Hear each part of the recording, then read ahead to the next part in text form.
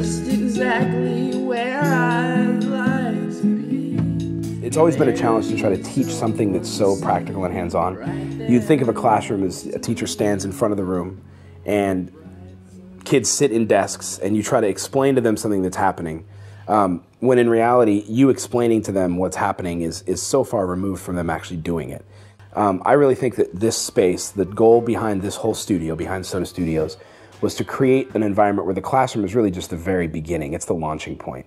And the actual real work, the real experiences and those life changing moments that really, where a kid really grasps it, come totally outside of the classroom. When they're actually working on a project, working alongside an artist that they respect, seeing the possibility of great and relevant work being done, and literally having their hands in the final product and being proud of the final result.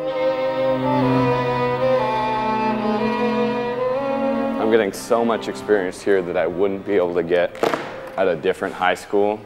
I do a lot more than just things for SOTA, and I really think that that community has grown and will grow into the future. So hopefully it continues and, you know, flourishes, I guess.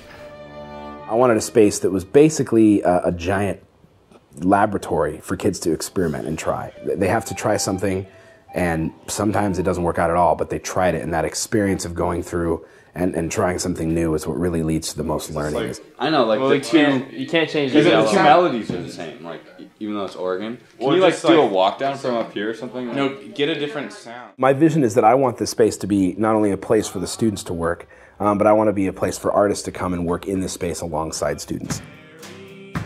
It's definitely good to have this kind of experience and really a good transition, I think, into what I want to be doing later in life. They, um, they're just full of amazing ideas and a ton of motivation and so much support from the people around them, encouraging them to continue to, to pursue what they love. That it's you just get this overflow of like, how in the world is this, is this actually high school work? Like this is professional level work.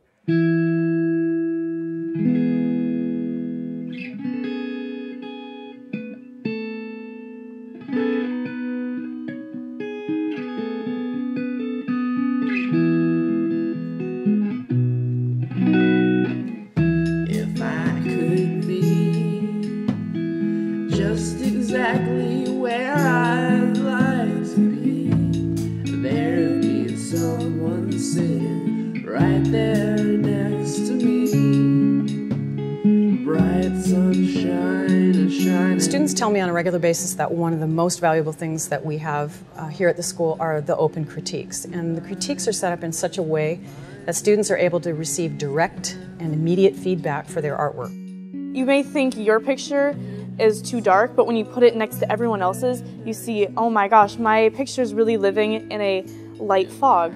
You don't realize these things until she she pulls out the, what the other kids did. Critiquing artwork has um, a number of, of different areas that, that I think are really important and are of value to a student. And it's not just the work itself, but it's also your ability to speak intelligently about your art. She just has a way of telling you without her showing you. I've never seen her draw in front of me. If you watch her draw, you might take her style. She's not into that. She wants you to style with what is in you. She wants you to develop your own style, your own thing. If you if your students trust you and and if you have the integrity and you grant them their integrity, they'll they will surprise you every time with how far and how fast they can fly. Every time I raise the bar, they jump higher. Every single time. I in all the 30 years of experience I've had, it never fails and they continue to blow me out of the water on a regular basis. I, I walk around with these drawings in my hand, showing them to other instructors, going, Look, look what they did. This is even better than last semester. I can't believe it.